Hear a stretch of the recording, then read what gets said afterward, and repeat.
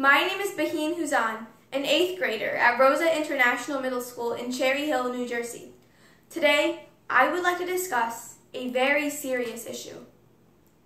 Air pollution is a clear and present danger, not only to the environment, but the health of most people on the planet. According to the World Health Organization, more than 85% of the Earth's population is exposed to poor air quality. At any time, one can view an air quality map and see that in some areas, such as eastern China and New Delhi, India, the air quality index rockets to 900. That is 18 times the level at which the EPA calls unhealthy. Innocent people are suffering because of a lack of a governmental initiative. Some countries are so focused on economic gain, they forget the health of their own people.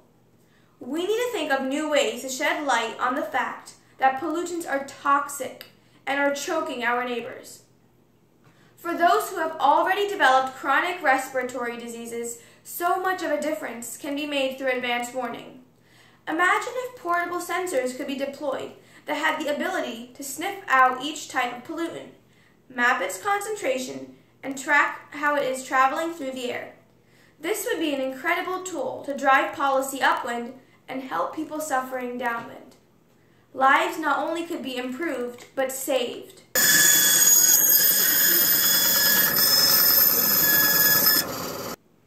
That is why I have created a comprehensive air quality sensor that enables the user to track air pollution in certain areas. By doing this, they can choose to wear protective equipment in that vicinity, or not go there at all if levels are especially dangerous. The sensor is made of many parts. First, the gas sensor detects multiple gases, including nitrogen dioxide, carbon monoxide, and a set of other hydrocarbons. The dust sensor uses the Tyndall effect to count the amount of dust particles suspended in the air. For example, in a dark room, a beam of light is cast, and the dust particles are easily visible. Within the sensor, this process happens in a standard plumbing tee, fitted with an infrared LED light the dust sensor inside the tube measures the dust by the intensity of the reflected light. A temperature and humidity sensor was also included because these factors influence the sensor's ability to measure pollutants. The anemometer with a wind vane measures the wind speed and direction, which allows the system to analyze where the pollutants are coming from and where they are going.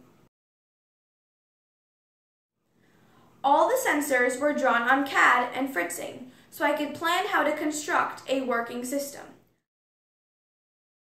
I created a simulation so I could design the algorithms even before I was done building. The simulation also lets me test a full sensor network by releasing simulated particles in a wind field loaded from the National Weather Service.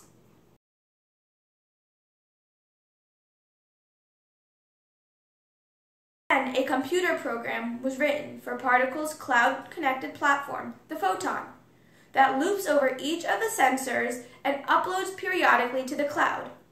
Now on the cloud, the readings are readily available for anyone, anywhere. The concept of the cloud is essential because the system's output is an aggregate map of current air pollutants and can be updated right at your home. The function of the sensor is not new but the fact that it is considerably smaller and less expensive makes it something that can be deployed widely. Compared to an academic sensor suite, which can cost up to $10,000 and take up a cabinet, our prototype is estimated to cost around $30 in production and can fit in the palm of your hand. This can truly make the difference in the lives of people. I interviewed Dr. Don Dvorin, an expert on how particulates affect asthma and other respiratory diseases. The way we practice uh, as allergists is to predict their allergies. So if we know a patient has mold or allergy to pollen, we know when the pollen is in the air and when the mold is at its highest. So we uh, tell our patients to take their medicine at a higher level or immediately before we see these pollen and mold spore counts rising in the air. So that way we help their, their asthma and their allergies. The same idea can be extended to airborne pollutants. If we can anticipate them, then people can take measures to protect themselves. Clearly, this small yet powerful sensor can change lives. Together, step by step, we can improve global health.